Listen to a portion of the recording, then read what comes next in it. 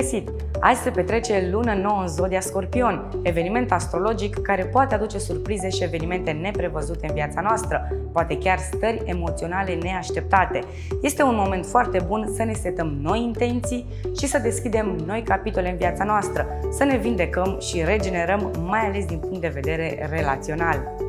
Berbecii vor trece prin transformări interioare puternice și vor reuși să renunțe la atașamente emoționale toxice. Pot să-și seteze noi obiective financiare și o relație intimă poate intra într-o nouă etapă.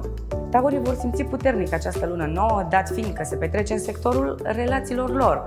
Nativii au șansa fie să se vindece după o despărțire, fie să deschidă un nou capitol în viața de cuplu, poate chiar să înceapă o nouă relație dacă sunt singuri gemenii pot lua decizia de a-și schimba stilul de viață sau de a renunța la un obicei, la o rutină zilnică stresantă. Mulți vor avea curajul necesar să-și schimbe locul de muncă, mai ales dacă se simt supra-solicitați și obosiți. Atenție mai multă la sănătate în această perioadă. Racii trăiesc intens această lună nouă la nivel afectiv și se pot bucura de noi începuturi în viața sentimentală, inclusiv de o nouă poveste de iubire. Nativii resimt din plin dorința de a face lucrurile diferit, de a se bucura mai mult de viață, de pasiunile lor și pot fi foarte creativi.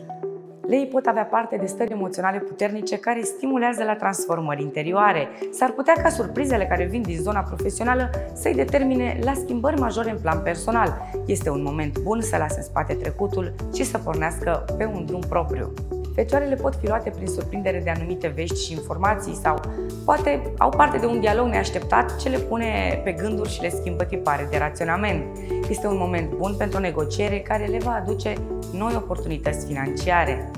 Pentru balanțe, luna nouă poate aduce răsturnarea unor sisteme de valori și setarea unor noi obiective financiare. Nativii pot lua decizii importante legate de administrarea finanțelor sau bunurilor comune sau, în alte cazuri, pot alege să-și câștige banii în alt mod decât au făcut-o până acum. Scorpionii sunt gazda lunii noi de astăzi și sunt invitați de astre să-și seteze noi intenții de viitor, lăsând în spate tot ce nu mai reprezintă. Puterea de transformare și regenerare de care dau dovadă nativii este enormă și trebuie folosită constructiv.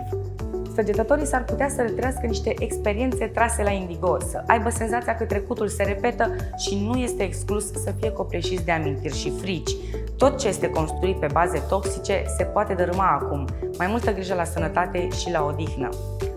Capricornii pot profita de această lună nouă pentru a adera la noi cercuri și anturaje, pentru a se implica în noi proiecte de grup, dar și pentru a-și face planuri de viitor. Posibil ca unii nativi să renunțe la relații de prietenie care nu-i mai reprezintă. Pentru vărsători poate fi o perioadă mai tensionată profesional, dar pot avea ocazia să vadă dacă sunt pe direcția cea bună. Sunt ambițioși și își setează obiective înalte legate de carieră. Nu este exclus să aibă parte de schimbări în plan personal, poate chiar de o mutare, de exemplu ca urmare a primirii unei funcții. Pentru pești, luna nouă poate veni cu noi sisteme de valori, noi principii și mentalități, dar și cu dorința de a cunoaște mai multe despre viață, de a evolua spiritual. Este nevoie de o schimbare a tiparelor de gândire și de renunțarea la atitudinile manipulatoare. Atât pentru astăzi, dar ne revedem și mâine!